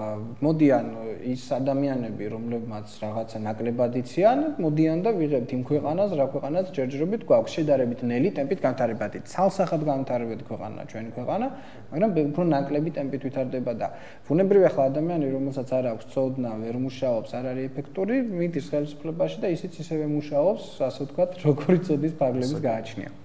აი საგარეო ფაქტორებიდან თქვენ ისაუ გარკვეულწილად მაგრამ უფრო მეტად დავა კონკრეტოთ რომელს დავუკავშირებთ აი საგარეო რა საგარეო ფაქტორები ახდენენ ნეგატიურ ზეგანს მიუხედავად იმისა რომ საგარეო ასე ვთქვათ მიმართულების სპეციალისტი არ ვარ ჩემი გადასახედიდან პრინციპში ძნელი არ იქნება იმის შემჩნევა, რომ ძირითადად მიმდინარე პროცესი ეს არის ჩვენთან არის გლობალური კონკურენციის გარემო. ამიტომ თუ კი მე ჩემი მოზარდობის დროს კარგად ვსწავლობდი და ეს აკმარისი იყო იმისა, მე ფასდებოდი აქაური შედარების კრიტერიუმებით. დღეს ადამიანი ფასდება მთელი მსოფლიოსაც. ანუ სტუდენტი სტუდენტია, სპეციალისტი სპეციალისტია და ეს არის ძალიან გლობალური ასე ვთქვათ. როგორც უცხოელი უცხოური კომპანიები და ორგანიზაციები თანამშრომლობენ ჩვენთან და არაერთი ჩვენს მათ შორის მეც ხშირად ან ანალიტიკურ საქმიანობაში ან რაღაცა დარგობრივ პროექტებში ან ასე შემდეგ თანამშრომლობს და ისევე ჩვენ შეგვიძლია ვითანამშრომლოთ სხვასთან და ასე შემდეგ და ასე შემდეგ. ანუ ეს არის ერთი გლობალური, მეორე ეს არის ის ცვალებადი გარემო, რომელიც ზოგადად თანამედროვე მსოფლიოს სტრესია. ეს არის ცვალებადი გარემო. ყოველ წუთში რაღაცა იცვლება მსოფლიოში და ძლიერი ქვეყნები, ძლიერი საზოგადოებები ამ ცვლილებას შედარებით უფრო მეტად უწყობენ ფეხს, თორე რა ხდება ზოგიერთ ქვეყანაში ჩვენ კარგად ვიცით, იგივე საბერძნეთში ან სხვა ზოგიერთ ქვეყანაში, ალბათ ისინი ისეთ რეჟიმში არიან, რომ ჩვენ საქართველოს დონემდე მოსვლაც კი შეიძლება მათთვის საოცნებო იყოს. და ბუნებრივია ომები და არასტაბილური გარემო ის რაც არსებობს ჩვენს გარშემო ახლა მით უმეტეს თქვა იგივე რუსეთსა და უკრაინას შორის მიმდინარე პროცესები რომლებიც პირდაპირ მოქმედებს იმ ყველაფერზე რაც ჩვენთან იქნება და რაც შეიძლება პერსპექტივა იყოს. კი ბატონო ხო ეს გლობალური კონკურენტუნარიანობა ალბათ ერთ-ერთი გამოწვევის ფაქტია. მაგრამ მე წარმოწევდი ახლა დევნილების ანუ ყველაზე მწვავე პრობლემა. ალბათ ეს არის დევნილების პრობლემა. 300 400000-მდე დევნილი ყავს სამაჩაბლოთან და აფხაზეთიდან და ალბათ ესეც ქმნის დამეთახვით ალბათ გარკვეულ მძიმე სოციალურ ფონს ზოგადად. აა დევნილები თქვენ წარმოიდგინეთ ახლა ცოტა ცოტა ასე ვთქვათ რიტორიკულ რაღაც ცოტა მაგრამ დევნილების რაოდენობა ჩვენთან გაიზარდა და იცით როგორ რამხრივ გაიზარდა ეს ადამიანები რომლებიც იყვნენ 3000 ისინი გამრავლდნენ შვილიშვილები ყავთ რომლებიც უფრო მეტნი არის და დღეს დევნილის სტატუსი არც ეს მონიტორინგის მაინტერესებს და ვერ მოაბითავე რომ გავიგო შესაძლოა დევნილის სტატუსი დღეს უფრო მეც ქონდეს ვიდრე დევნილი თარაოდენობა ქონდა წლების წინ. თუმცა აი იცით აი ზუსტადაც იმ ბუტაფორილმა პოლიტიკამ რომლის დროსაც დენილები ცდილობდნენ არ მიემართათ ძალისხმევა ასე ვთქვათ ინტეგრირებაზე საქართველოში არა იმ იმედით რომ აი დღეს დაგვაბრუნებენ ხვალ და იყო ხო წინა ხელისუფლების რეჟიმში ის რომ აი დღეს ხვალ სადაცაა იყო ორგანიზაციები ხო რომ ადამიანები რომლებიც ჩალაგებული ჩემოდნებით ისხდნენ რომ დღეს ხვალ ჩვენ უკვე დაბრუნებით სახლშიო. და სახელმწიფოც ამის გამო შესაბამისად არ უზრუნველყოფდა მათთვის სტაბილური გარემოს შექმნას, არა? ამიტომაც ეს თulis თემა არის ზოგადად. ეს მისცემათ, ასე ვთქვათ, მოხსნიმად დევნილი სტატუს, მისცემას სრულ ინტეგრაციის საშუალებას, ეს მთელ ფესვებთან კარგავს კავშირს. არ მისცემა მას ის მუდმივადროებითად გწნობ თავს და ამიტომ აი ჩვენ თითოეულ ჩვენგანი მაგალითად ჩვენი მეგობრები რომლებიც თუნდაც არადევნილების რეჟიმში უბრალოდ საზღვარგარეთ მიდიან და სწავლობენ ან მუშაობენ, ყველას უჭირს დაფუძნება თუ კი მას არა გადაწყვეტი რომ სამუდამოდ იქ იცხოვრებს არა ამიტომაც იგივე მომენტი გვაქვს ჩვენც აქ და ბუნებრივია რომ დევნილთა მიმართ სახელმწიფო ახლა შედარებით გამოცოცხლა, მაგრამ არ იყო საკმარისად გააზრებული საერთო ჯამში ამ ხალხს არასთავაზობენ, ან რაზე უნდა მიიღონ, უნდა იცოდნენ ადამიანებმა და ხშირად ჩვენ რაღაც სიმართლებისთვის მზად არ ვართ, ალბათ ესეც ხელს უშლის. აი დევნილების საკითხთან დაკავშირებით მინდა ერთი ძალიან საინტერესო ფაქტი აღნიშნო.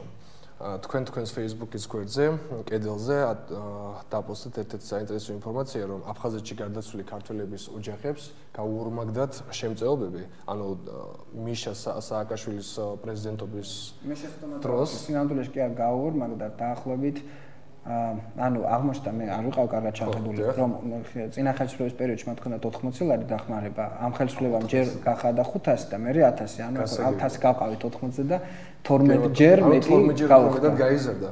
და ამის შესახებ მე როგორც ერთ-ერთ კონკრეტულ მოქალაქეს არ მქონდა ინფორმაცია და დარწმუნებული ვარ ძალიან ბევრი მოქალაქეს არ ექნებოდა ჩემს მსგავსად ინფორმაცია.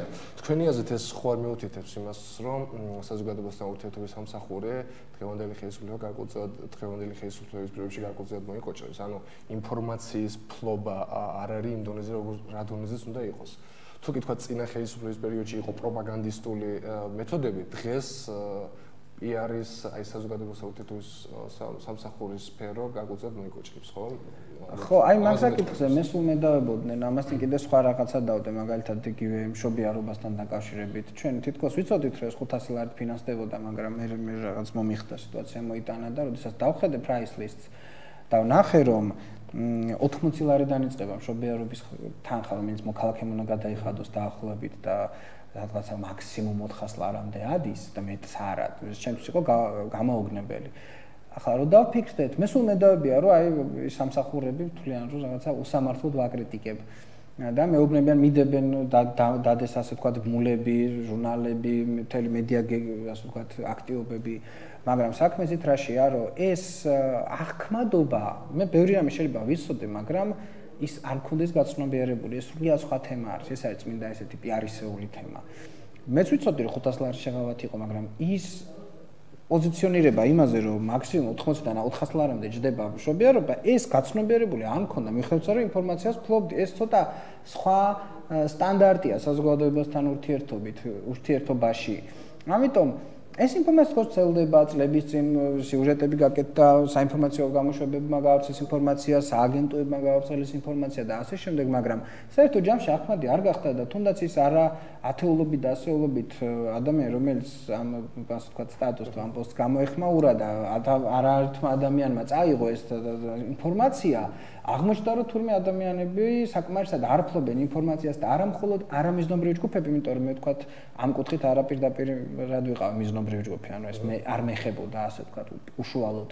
არამედ თავად იმ ადამიანებსაც კი, რომლებიც ასე ამას ამ რეჟიმში არიან, არ აღიქვამენ. ამიტომ ეს ცოტა სხვა სტანდარტია, ამიტომ ამბობ ჩვენ რომ მხოლოდ ინფორმაციის გავრცელება არ არის საკმარისი იმისაც რომ ადამიანი დააფიქრო და მისი აზრი შექმნა რაღაცისათვის მოკავშირედ. ამიტომ ბუნებრივია რომ ეს ეს ეს მიმართულება სახელმწიფო სექტორში ნამდვილად ითხოვს მეტ დახვეწას და მეტ მუშაობას და წმინდა დარგობრივ ეფექტებს, იმიტომ რომ სხვა შემთხვევაში ადამიანის ცოდნა და ინფორმირება არ არის საკმარისი ადამიანის განწყობისათვის. დიახ, ძალიან საინტერესო ხო? ახლა უკვე გადავიდეთ საქართველოს ფარგლებს გარეთ და შევეხოთ სხვა საინტერესო ყველაზე აქტუალურ თემებსაც სოფლიო გლობალურ პოლიტიკაში. ალბათ ჩვენთვის ყველაზე მნიშვნელოვანი ეს იქნება უკრაინაში მიმდინარე პრობლემები და მიმდინარე პროცესები, ესე რომ ვთქვათ. ჯერ დავიწყოთ უშუალოდ სააკაშვილის უკრაინაში საკუთარ მაღალ თანამდებობას დანიშნვის საკითხით. თქვენ რამდენად სწორად მიგეშინათ ეს და რამდენად კარგად ან ნეგატიურად აისახება ეს თვითონ უკრაინის სახელმწიფო ცხოვრებაში? სააკაშვილის დანიშნა მაღალთან. პრინციპში ეს ასე ვთქვათ, ხოლმე გლობალური პროცესის ნაწილი არა, ეს ჩვენი ქვეყნის ნაწილი. რეალობა არის ასე. ხო, მე გადავიდეთ უშუალოდ გლობალურ პროცესში. ჩვენს უფრო ასე ვთქვათ, პროფესიულად ახლოს არის. ის რომ ქვეყნები და სახელმწიფო სექტორები იღებენ გადაწყვეტილებებს, როგორც მათ მიაჩნიათ საჭიროდ, ეს არის ბუნებრივი პროცესი. საქართველოს საზოგადოების ასე ვთქვათ ამორჩევლის უმეტეს მონაწილეობა საკუთარი მოსაზრება არჩევნებზე უკვე ასე ვთქვათ გამოხატა რომლის ფარგლებშიც მათ უწინა ხელისფლებაზე უარი განაცხადეს ეს ძალიან რბილად რომ ვთქვათ. ასე ვთქვათ და ბუნებრივია თავისთავად ის თუ რას ფიქრობს საქართველოს მოსახლეების სრული უმრავლესობა ეს ცხადია ასე ვთქვათ ამის მიუხედავად იცით რა შეასაქმე, აი გააჩნია კიდე რა კუთხით შევხედავთ. მე შეიძლება ერთ სამსახურიდან გამიშვან, მაგრამ ვიყო მოთხოვნადი მეორე სამსახურისათვის. ეს ბუნებრივი პროცესია, თუმცა რა კი გაისახება არაუბრალოდ სპეციალისტს, არაუბრალოდ დაქირავებულს, არამედ ძებნილ ადამიანს, რომელსაც იღებს სხვა სახელმწიფო ამ შემთხვევაში, მე მაინც და მაინც ეთიკურად გამართლებულად არ მიმაჩნია. ახლა ჩვენ რომ და ყველაზე ასე ვთქვათ, გასაკვირი ის იყო, რომ იგივე საკეთებდა თავის დროს სხვათა შორის სააკაშვილი, იმიტომ რომ მან არა რამდენიმე ადამიანი რომელიც უკრაინაში იძებნებოდა საქართველოში მიიღო მაგრამ განსხვავება რაშია მათ სახელმწიფო სექტორში ადგილი არ მიუჩენ ასეთ შემთხვევაში სახელმწიფო სექტორში ადგილებს არ უჩენენ და ახლა წარმოიდგინეთ თქვენ რომ თქვენი სახელმწიფოს მიერ ძებნილი პირი სხვა სახელმწიფოში ერთ-ერთ მნიშვნელოვან hm, თანამდებობაზე არის წარმოდგენილი. მეორე ერთ-ერთი ადამიანი საერთოდაც უკვე წითელი ცირკულარით იზრდება, ასე ვთქვათ. ეს ალბათ უპირველეს ყოვლისა ეთიკური ნორმის ეთიკური საკითხებია სახელმწიფო შორის ურთიერთობაში და რაც შეეხება სხვა დანარჩენს პრინციპში ადამიანებს საკუთარი ნება გააჩნიათ იქ სახელმწიფო მოხელეებს ვინ შეიძლება ჩათვალონ. ან რას უპირებდნენ იმიტომ რომ არსებობს ასეთი გარდამავალი პერიოდის კადრებიც ასეთი რაღაც. და გეტყვით რას გულისხმობთ? მაგალითად ხშირად მიყავთ ხოლმე აი მაგალითად აპირებენ რომ ვიღაცა ორგანიზაციის დახურვას და ხშირად იქუშვებენ დროებით მენეჯმენტს რომლებიც საკუთარ თავზე იღებენ მთელი რიგი ამ შავი სამუშაოს ფუნქციას. მე რე ამას ყოველს მოასუფთავებენ და მიდიან და ისინი ხრებიან ასე ვთქვათ. მე არ ვიცი ვთქვათ უკრაინის სახელმწიფოს ლიდერებს რა მიზნები გააჩნიათ ამ ადამიანებთან მიმართებაში ეს არის ნდობა თუ უბრალოდ საკუთარი თანაპარტიელები არ გასვარეს იმაში რომ რაღაცა დროებითი შავი სამუშაო შეესრულებიან და ამისთვის საქართველოს მოქალაქეები წაიყვანეს ამ შემთხვევაში ყოფილი ხელისუფლების წარმომადგენლები მაგრამ არ არის გამორჩეული სწორედ ამ მიმართულებით მოხდეს და ნახავთ ჩვენ ამას ასე ვთქვათ უახლოეს წლებში იმიტომ რომ უკრაინას ჯერჯერობით მესამე საიმედო პერსპექტივები არ ექნება ახლა კი შემდეგ უფრო სხვა საკითხებზე გადავიდეთ. ძალიან საინტერესო იყო მინსკში მიღწეული შეთანხმება ზეითად უკრაინის და რუსეთის ლიდერების მხრიდან, ასევე რა თქმა უნდა, ევროპელი ლიდერებიც იყვნენ ჩართულნი. თქვენი აზრით, რა შედეგები შეიძლება მოყვეს ამ შეთანხმებას, იმიტომ რომ ჩვენ საკმაოდ ნეგატიური გამოცდილება გვაქვს რუსეთთან შეგვიძლია შეთანხმების ზოგადად. და თქვენი აზრით, რა მომავალი იქნება ამ შეთანხმებაზე ზოგადად უკრაინის მომავალი როგორ გესახება? ხო ეს ახლა ბუნებრივი ართული თემაა ჩემს ცოდნასაც წდება გარკვეულწილად მაგრამ იმ კონტექსტში რა კონტექსტი ჩვენ თავს გვაგონებს ეს არის მიღწეული ხალხშეკრულება თავის დროზე აფხაზეთში ასე ვთქვათ ძალოვანი საშუალებების გამოყვანაზე რაც ორიენტირებული და მე ყველამ კარგად ვნახე სწორედ ამ ხელშეკრულებამ განსაკუთრებულად ითამაშა როლი აფხაზეთის ასე ვთქვათ ოკუპირებისა შეიძლება ეს რომ არ მოხდარიყო თქვა უფრო რაღაცა წლების მერე მოხდარიყო ოკუპაცია ანუ ეს პროცესი გაგრძელებულიყო ვერ გეტყვით არ ვიცი ბუნებრივია მაგრამ ფაქტია რომ ამგვარ ხელშეკრულებებს რუსეთთან მიმართებაში ასეთი შედეგები მოყვება სამწუხაროდ ალბათ მე რაც ჩემს ასე ვთქვათ ცოდნის ფარგლებში ჯდება და ვფიქრობ რომ არ უნდა წდებოდე მაინც და მაინც რუსეთი ერთადერთი ყველაზე არასაიმედო პარტნიორი იყო ჩვენი თუ თუ განვიხილავთ მას როგორც მტერს, აქ უკვე გასაგებია, მაგრამ თუ განვიხილავთ მას როგორც პარტნიორს, როგორც ცდილობს ზოგიერთი გაგასაღოს ხომ, რუსეთზე არასაიმედო პარტნიორი ჩვენს ქვეყანას არასოდეს ყოლია. აა უფრო მეტი ჩვენ ყოლია მტრეები, რომელთანაც ომიც გქონია, მაგრამ მათთან ურთიერთობაც გქონია და რაღაცა იყოს, რაღაცა სივრცე, სადაც ომი იყო, იყოს რაღაც სივრცე, სადაც თანამშრომლობა იყო. პრაქტიკულად რუსეთთან ესეც კი შეუძლებელი იყო და ზოგადადაც მე რომ კითხოთ თანამედროვე საქართველოს პრობლემების 2/3 მოდის სწორედ რუსეთის საქართველოსთან აქტიური ურთიერთობის, მისი გასაბჭოების, სახელმწიფოებრიობის დაკარგვის და ასე შემდეგ და ასე ყველა იმ ფაქტორის გათვალისწინებით, რაც ჩვენ წლების განმავლობაში ქონდა. ამიტომ ის გამოცდილება, რაც ჩვენ რაღაც მომენტში დიცოდნასაც კი არ გვავალებს, იმიტომ რომ ახლახან გამოვიარეთ და იმიტომ რომ ეს ტკივილები და ეს ჭრილობები ჯერჯერობით ისევ აქტიური ჭრილობები გვაქვს, ჩვენ ბუნებრივია ვერ ხედავთ განსხვავებას, რატომ რა იქნება გამორჩეული ამითი რუსეთთან მიმართებაში სხვა ქვეყანა. დაუკვირდეთ რუსეთის ჩართულობით აა იგივე აზერბაიჯანთან და სომხეთთან მიმართებაში მივიღეთ ის რაც გვაქვს იქაც იგივე პრობლემებია ტერიტორიული პრობლემები სხვაგან რუსეთის ჩართულობით ჩვენზე აღარ ფლაპარაკობ დაკარგა უკრაინამ საკუთარი ტერიტორიების ასე ვთქვათ მოახდენა რუსეთმა მისი ოკუპაცია სადაც კი რუსეთი ჩაერთო ზოგადად ყველგან ასე ვთქვათ რაღაც ქართული ანდაზისა არ იყოს ასე ვთქვათ ცეცხლ სადაც წაუკიდებო იქ ბალახი არ ამოდისო დაახლოებით იგივე მომენტია სადაც რუსეთი ჩაერთო იქ პრაქტიკულად იმ ეთნოსებმა ჩრდილოეთ კავკასია აიღეთ. ხო ამასაც იცოდნა რომ იმიტომ ჩრდილოეთ კავკასიაში რაც ხდება ეს არის უსაინტერესო ეს ხალხი წარმოიდგინეთ თქვენ ჩრდილო კავკასიელები მტრობდნენ ხშირად ქართველებს მაგრამ თიულები ქართველი თაში გაზრდილი ადამიანები ფოლკლორში რო ჩავიხედოთ, მათგან წყობაში რო ჩავიხედოთ, აბსოლუტურად ყველა მათთან პატივისცემით იყო განწყობილი დღემდე ხო უკრავენ ღერიანს ეკვავენ მათსას და ანუ ტრებიც იყვნენ, მაგრამ ამ ნტრულად განწყობილ ტომებთანაც კი პატივისცემის დიდი დოზა ქონდა. რა უქნეს ჩრდილოეთ კავკასიას? ჩრდილოეთ კავკასია ეს არის რაღაცა ამორფული იერის მქონეა, ეთნოს დაკარგული ადამიანები ძირითად ნაწილში, ხო? სადაც განსხვავებაც კი სოფლიო მარცის ეს არის მრავალფეროვანი უსაინტერესო ესე ადამიანები და პრაქტიკულად სოფლიო მარიცის და რაღაცა ესეთი კავკასიური რუსულად იყო ესეთი ფრაზა ნიცო კავკასკენ ნაციონალნესტი რაღაცა ეგეთი კავკასიური ერის ეროვნება ასე ვთქვა ხომ აი ამაში გაასაღა და ასე წარუდგინა დანარჩენი. ასე თუ ისე მაინც უშუალოდ რუსეთის ფედერაციის შემადგენლობაში შედიოდა. მათ უნდა ეგ ძალიან საშუალო საშუალება მოხდა მაგრამ უკრაინა ალბათ ამეთანხმებით გასცემით უფრო გლობალური პრობლემაა როგორც არა მარტო რუსეთ ან ამ რეგიონისთვის არამედ ზოგადად სოფლიოსთვის და თან ამ უკრაინის მინსკის შეთანხმებასთან დაკავშირებით ასე ითქვა ითქვა რომ ეს იყო რუსეთთან დიპლომატიური გზებით ურთიერთობების დიპლომატიური გზებით მოგვარების უკანასკნელი მცდელობა. ანუ ფაქტიურად დასავლეთი სხვა მცდელობას უკვე აღარ მიმართავს ამ განცხადებით ესე გამოდის. და საკმაოდ სერიოზული პრობლემა შეიძლება შეიქმნას ხო? ანუ შემდგომში თუ კი თქვა არ დაარეგულირდა ეს საკითხები დიპლომატიური გზებით მაშინ როგორ შეიძლება გამითარდეს სცენარი. ისევ ეკონომიკური სანქციები უფრო მეტად თუ რა შეიძლება იყოს. არ შეიძლება ამისი ასე ვთქვათ, პროგნოზირება ცოტა მკითხაობა იქნება, მაგრამ დასავლეთის პოლიტიკა ზოგადად ჩვენთვის ნაცნობია. მაგალითად, იგივე წინა ხელისუფლების პირობებში წინ ყავს ითხოვდნენ, ნუ გაქვთ რიტორიკა აგრესიული, იყავით მშვიდები, იყავით კორექტულები, კონდეთ მცდელობა ურთიერთობების ნორმალიზებისკენ და წინა ხელისუფლება პირიქით აკეთებდა ყველაფერს. მიმდინარე ხელისუფლებაზე შეიძლება ზოგიერთი არ გიждებოდეს ევროპაში, მაგრამ ამ ევროპული ევროპის მოთხოვნის ფარგლებში უფრო ჯდება, იმიტომ რომ ჩანს საქართველოს სიმშვიდე უფრო მეტად, ჩანს ესეთი კონსტრუქციული რიტორიკა მткиცე ნეგატივი შეფასებებთან მიმართებაში, მაგრამ ასე ვთქვათ, არა აფექტური მიდგომა, არამედ რაციონალური მიდგომა.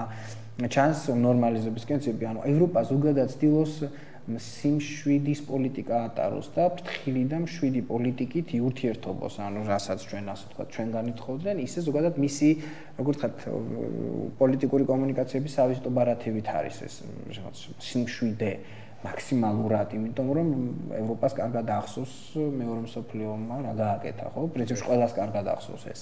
ამიტომ და ჩვენც კი კარგად გვახსოვს, მიხედავთ რომ ჩვენ პირდაპირ შეიძლება ისე აქტიურად არ შეგხვებია. დანაკარგით პროპორციულად ყველაზე მაღალი დანაკარგი საქართველოს ქონდა.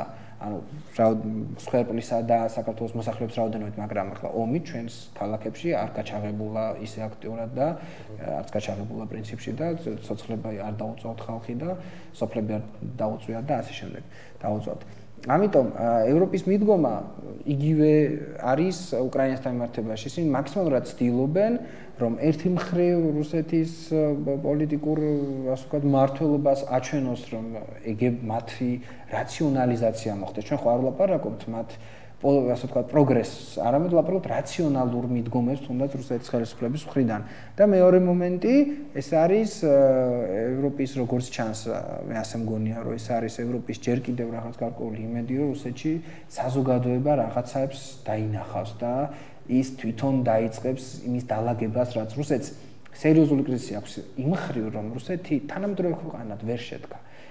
რაღაც მომენტებში ირანიც და ასე ვთქვათ, აი აზიური, სადაც რელიგიური ფუნდამენტალიზმის დონე ძალიან მაღალია, ის ქვეყნებიც კი რაღაცა კუთხით პროგრეს განიცდიან და დინამიკა შეიმჩნევა, რომ რაღაცებში თანამედროვდებიან ესენი, გარდა შიდა ძალიან ისეთი სოციალური ურთიერთობებისა, მაგრამ რუსეთი არის პრაქტიკულად საბჭოთა კავშირისა და იმპერიალიზმისგან ვერ წაიწია წინ, ანუ სამყაროს ვერ აღიქვამს. ამიტომაც ეს ფაქტორები ალბათ ქმნიან იმის იმედს, რომ იქნებ საზოგადოება ერთვენიერ დღეს იქ დაფიქრდეს და ნახოს რა სჭირდება მას და როგორ. მაგრამ ასე ვთქვათ, რა თქმა უნდა, ჩემთვისაც და ჩემზე ბევრი კვალიფიციური სპეციალისტებისთვისაც ამ ყველაფრის გააზრება სადამდე შეიძლება მივიდეს და ან შემდეგი ნაბიჯი რა იქნება, ბუნებრივია რთულია. გასაგები. ახლა უკვე დაუბრუნდე ჩვენს ახალგაზრდა საკითხებს, რითაც დავიწყეთ დღევანდელი შეხვედრა. ალბათ დამეთახებით მე პირადად ჩემსაც დავაფიქსირებ, დღევანდელ საქართველოში ალბათ ახალგაზრდებისთვის ძალიან მნიშვნელოვანია თავისუფალი დროის სწორად ან პროდუქტიულად გატარების მეთოდი, ესე რომ ვთქვათ. ანუ ფაქტიურად არ ეძლევა ახალგაზრდებს იმის შესაძლებლობა, რომ აი თავისუფალი დრო სწორად დაგეგმონ და მაქსიმალურად პროდუქტიული გახადონ ეს მათთვის. ალბათ ამ ვითარებაში ყველაზე იდეალურ ფორმად აი არაფორმალური განათლება გვევლინება ახალგაზრდული ორგანიზაციების სახით, არასამთავრობო ორგანიზაციების სახით. ხე ხომ არ ფიქრობთ რომ აი ეს არასამთავრობო ორგანიზაციები იკავებენ იმ ნიშას, რასაც ქვია თავისუფალი დროის პროდუქტიულად დაგეგმვა და ახალი შესაძლებლობების შექმნა ახალგაზრდებისთვის. როგორ გესახება ზოგადად არასამთავრობოების და განსაკუთრებით ახალგაზრდული არასამთავრობო ორგანიზაციების როლი ქართული ახალგაზრდების განვითარებაში? ხო, აი მიხედავთ იმისა, რომ არასამთავრობო სექტორის განვლენა საქართველოში მთლად ასე ვთქვათ, ისე არ ხდება როგორც უნდა იყოს, არის უამრავი დარგობრივი სივრცე, სადაც არასამთავრობო სექტორი ძალიან მაღალ დონეზე და ეფექტურადაც მუშაობს. მათ შორის ახალგაზრდებთან მიმართებაში ცხადია გარდა იმ ორგანიზაციებისა, რომლებიც ცდილობენ ამითი პოლიტიკური ინტერესების ან პოლიტიკური კომუნიკაციების კონტექსტისათვის გამოიყენონ, აი სხვა შემთხვევებში, იმიტომ რომ ბუნებრივია თანამედროვე ადამიანს ჭირდება ბევრ ასპექტში განათლება. უმაღლეს სასწავლებელს აქვს თავისი მიმართულება, სხვა დანარჩენს აქვს თავის მიმართულება და სწორედაც არაფორმალური განათლება რას გულისხმობს აი იმ სოციალურ ურთიერთობებს აი ამ რაღაცა ყოველდღიურ აუცილებლობებს, რაღაცა თანამშრომლობებს, გუნდურობას, თელ რიგ ისეთ უნარჩვევას და ისეთ შინაგან მახასიათებელს. პროდუქტიულია მსგავსი ტიპის არაფორმალური განათლება. მე შემიძლია ჩემს პირად მაგალითს გითხრათ, ჩვენ თვითონ რამდენიმე მეგობრებთან ერთად მე პირადად დავაფუძნე ჩვენი ორგანიზაცია ლიდერთა კლუბი, სადაც ძალიან ბევრი ახალგაზრდა მოსული საკმაოდ საინტერესო იდეებით ჩვენ მართოთ ხოლმე სხვა სხვა სტუდენტურ დებატებს საზოგადოებისთვის აქტუალურ თემატიკაზე თვითონ ახალგაზრდებისთვის აქტუალურ თემატიკაზე. და ამას საკმაოდ ამ საკმაოდ პროდუქტიული ნაწილია ესე ვთქვათ. სხვა შორის საქართველოს ჟურნალისტთა შემოქმედებითი კავშირი და ბატონი ჰამლეტ გეგია ძალიან აქტიურად თამაშობს ჩვენთან და ფაქტიურად ქვეხმარება აი ამ პროექტებისა და ახალგაზრდული იდეების განხორციელებაში. ანუ ხომ არტფილ საჭიროთ უფრო მეტად მხარდაჭერას აი არასამთავრობოებისთვის და განსაკუთრებით ახალგაზრდული ორგანიზაციებისთვის, უფრო მეტი მხარდაჭერა რომ მოდის თქვა სახელმწიფოსგან ან სხვა კერძო სექტორისგან თუნდაც. შეკითხვა რიტორიკული აუცილებლად უნდა მომდიოდეს მხარდაჭერა, იმიტომ რომ თავარი ხარდაჭერის თავარი სივრცე არის ახალგაზრდობა. თუ გინდა ჩემ პედაგოგიური მოღვაწეობის თქვა მიზანი არის ის რომ მე თავის დროზე ვთქვი რომ იმის ნაცვლად ვიწუწონო რასაშნია ქვეყანაში ცხოვრობ მირჩენია გარკვეული ძალისხმევა გააცე ეს იქნება ჩემი რაღაც პროფესიონალური ანალიტიკური საქმიანობა ეს იქნება ჩემი რაღაც ექსპერტული მოსაზრებები. თუ პირდაპირ ახალგაზრდებთან ურთიერთობით რაღაცა საკუთარი ხედვის გავრცელება. იმ ხრივ რომ ახალგაზრდები არიან ისინი ვის ერთადერთი პერსპექტივა ვინც შეიძლება რამე შეცვალოს არის ახალგაზრდა თაობა სხვა პერსპექტივები ჩვენ არ გვაქვს. არც ერთ და ნებისმიერ საზოგადოებაში ეს ნებისმიერში და მით უმეტეს ჩვენთან იმიტომ რომ პირადად მე ყველაზე დიდი იმედით ვუყურებ აი მიმდინარე თაობებს იმიტომ რომ ერთადერთი შანსი ამ ქვეყანას გარკვეული სწორი აგებულება უპოვნონ არის ახალგაზრდა თაობა. თქვენ თუ გონიათ ან ჩემი თაობა ან ჩემს წინა თაობა ან იმის წინა ჩვენ სულ ამობ ხოლმე ახლა ცოტა შეიძლება კვეთრად მაგრამ ჩავთვალოთ რომ პირდაპირ ბუკვალურად კი არ მინდა გავიგოთ ამიტომ მეტაფორულად მინდა გავიგოთ ჩემს სტუდენტებს მე ვუნები რომ თქვენ უფროსმა დაძმებმა მშობლებმა ბებია-ბაბუებმა და იმათმა მშობლებმა დაგინგრიეს ქვეყანა. და თქვენ ეს უნდა ააწყოთ იმიტომ რომ ასეც არის პრინციპში ხო? ხა მათ პირდაპირ ბებია-ბაბუებს არ გულს უნდა იმ ძალიან აგრესიულ ადამიანებს რომლებიც ამ ქვეყანას ყოლია მაგრამ ეს მოყვა ხო? აი რაღაცა მე-19 საუკუნე, მე-20 საუკუნე ჩვენ წინაპრები იყვნენ უშუალო უახლოესი 30-იან წლებში რომლებმაც ამ ქვეყნის საზოგადოებრიობას საშინელება გაუკეთეს, მერე იყო ეს რაღაცა ბრწყინვალე აფეთქებას დავარქმევდი ასე ვთქვათ ის თაობები რომლებმაც პროგრესი მოიტანეს ილიას თაობა იქნებოდა თავის დროზე თუ მერე უფრო ახალი თაობა და ასე შემდეგ არა? ამიტომაც ერთადერთი გადარჩენის შანსი ამ ქვეყანას აქვს ახალგაზრდაზე მეტი ძალისხმევის დახარჯვა. უფრო მეტიც სახელმწიფო ზოგადადაც თელ თავის ისი დამოკიდებულებების და ძალისხმევის 213-ს ახალგაზრდა თაობაზე უნდა ხარჯავდეს. დღეს ამ ყველაფერში ძირითადად გვაქვს უფრო მოხალისეობა, რაც აუცილებელი პირობაა, ბუნებრივია. ძირითადად გვაქვს ასე ვთქვათ ევროპის მხარდაჭერა და ევროპული ორგანიზაციების მხარდაჭერა, რაც ძალიან მნიშვნელოვანია. გარკვეულწილად რა თქმა უნდა გვაქვს ჩვენ სახელმწიფოს მხარდაჭერა, აი ჩვენ გვაქვს ახალგაზრდული პარლამენტი, რომელსაც მე ძალიან დადებითად ვუყურებ და კარგი არეალი ერთმანეთს გასაცნობას, რაღაცებს შესაძლებლად, თუნდაც გასართობად და ხალ ბუნებრივი ახალგაზრდულ პარლამენტს ვერ წავყენოთ მოთხოვნას, რომ სახელმწიფო შექმნას, მაგრამ ძალიან ბევრ საინტერესო რამს აკეთებენ და გარკვეული ფრაგმენტები მეც ყავ ჩართული. გვაქვს ეგრეთ წოდებული ახალგაზრდული მთავრობები, რომელიც რომელიც საზოგადოების ნაწილმა საკმაოდ კრიტიკულად არ ხომ, მაგრამ მე ძალიან დადებითად შევხვდი, იმიტომ რომ ასეთი ასე თქვა ასეთი ურთიერთობებით იქნება ნაკადი. აი ესეთი ერთმანეთს იცნობენ ერთმანეთს ფლობენ მე მიდიან და რაღაც მნიშვნელობას აკეთებენ აი ესეთი არასამთავრობო ორგანიზაციები როგორც არის ლიდერთა კლუბი სხვა ორგანიზაციები ახალგაზრდების ინიციატივები. ჩვენს უნივერსიტეტში ილიას უნივერსიტეტში არაერთი ახალგაზრდული ორგანიზაცია და იმდენად მნიშვნელოვან რაღაცებს აკეთებენ რომ პირადად მე ძალიან ბევრჯერ ძალიან მნიშვნელოვანი საქმეები გადამეწყვია მხოლოდ იმიტომ რომ ახალგაზრდებთან ერთად ყოფილიყავი და არა იმიტომ რომ მათ აი ასე თქვა აი მე თქვენ გამოგადეკით თქვა არამედ იმიტომ რომ მათთან ურთიერთობა ასევე ძალიან საინტერესოა ჩემთვის. ხანდახან ხომ არ გონიათ რომ ეს ახალგაზრდული ორგანიზაციები რა თქმა უნდა ძალიან საინტერესოა. უბრალოდ ზოგჯერ მსგავსე ტიპის თუნდაც თქვენ ახალგაზრდული პარლამენტის ახსენეთ და ეს ძალიან კარგია, ეს მართლა ძალიან ბევრ საინტერესო პროექტებს ახორციელებენ. უბრალოდ ხო სხვა ორგანიზაციებიც არსებობენ, რა თქმა უნდა, ეს უნდა იყოს კიდეც ასე, მაგრამ ზოგ შემთხვევაში ხო არ გვაქვს შემთხვევა აი ძველი კომკავშირული იდეების აღორძინებასთან, აი ახალგაზრდული თეორიულად კი ასეა მაგრამ თუ ეს ყველაფერი არ შეიქმნა მაგრამ ისიც რატო ვამახვილებ ამაზე ყურადღებას იმიტომ რომ ჩვენ გვაქვს საკმაოდ ნეგატიური გამოცდილება ამასთან დაკავშირებით იმიტომ რომ აი ეს ფაქტიურად ადამიანები ახალგაზრდები უნდა სურდათ კარიერის შექმნა ესე რომ ვთქვათ ამ შემთხვევაში უკვე გადადიოდნენ აი კომკავშირი აი კომკავშირი დაიწყებოდა მათი კარიერა დაახლოებით იგივე მიდგომა თუ გვაქვს ახალგაზრდა ორგანიზაციებთან დაკავშირებით თუ აქ სულ სხვა რეალობა სულ სხვა კონტექსტია და ალბათ სხვა შედეგები ყოფილა ჩვენ მე წეგან ვახსენე რომ ჩვენ სადაც პოსტსაბჭოური მიდგომებით ცხოვრობთ რავალწილად და ეს ბუნებრივი ახალგაზრდების სივრცესაც მოიცავს გარკვეული კუთხით, მაგრამ თავარი წყარო არის იცით რა, რომ აი ნახეთ არსებობს რაღაც პროდუქტია, ხო? სიტყვად რაღაც პარლამენტი, თქვენი ორგანიზაცია, სხვისი ორგანიზაცია და ასე შემდეგ. ეს არის პროდუქტი. მე ვიღაცა თქვა, თქვენივე კოლეგები ამ პროცესებს აფასებს. ზოგი ნეგატიურად ზოგს სისუსტეს კრიტიკულად შეაფასებს. შემდეგ ჯერზე ამ სისუსტის გამოყენება შეიძლება არა, ასე ვთქვათ და განვითარება და გამოსწორება. თუ არა გვაქვს პროდუქტი, არარსებულის განვითარება არ ხდება. პროდუქტი უნდა არსებობდეს და მის განვითარება შესაძლებელია, თორემ ყველაფერი აბსოლუტურად თეორიულად მსგავსი რისკი შეიძლება იყოს. წეგან შევлапარაკობდით რაღაც გარკვეულწილად აი ამ ასე ვთქვათ манипуლირებას და ახალგაზრდაობის. ყველაფერი შეიძლება გამოიყენოთ, მაგრამ თუ ჩვენ არ ვისწავლეთ და მოდიან აი მე მაგალითად მქონდა საშუალება და მაქვს საბედნიერო საშუალება ჩავერთო ამ ახალგაზრდებში და არერთხელ მინახავს, რომ იქ არის იმდენად ბევრი უკვე წინაპარს გადის თამამი ადამიანები, ძლიერი ნებისყოფის, ძლიერი სულის ადამიანები, რომ მათი манипуლირება, მათით манипуლირება ასეთი ადვილი არ ხდება და რაც უფრო მეტად წარმოიწევა ასეთი ადამიანები, ხო? მით უფრო უკეთეს იქნება და დღეს თუ ეს ორგანიზაციები არ არიან იმ კლასის როგორც უნდა იყოს და პრინციპში რა გვაქვს ჩვენ მაღალი კლასი საქართველოში, რომ ამ ახალგაზრდებს მოთხოვოთ უყვნენ უმაღლეს სტანდარტზე, სხვა დანარჩენი რა გვაქვს ის შესაბამის ნიმუშები რა გვაქვს, არაფერი, ხო?